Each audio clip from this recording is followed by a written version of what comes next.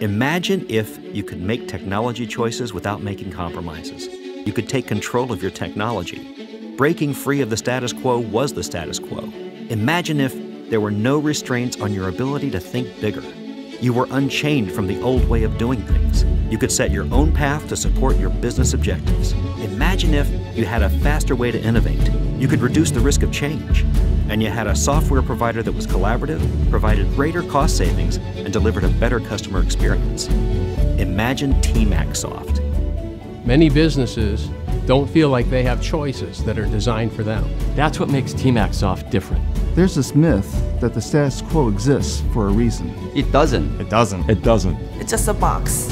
And Imagine TmaxSoft. Change your view.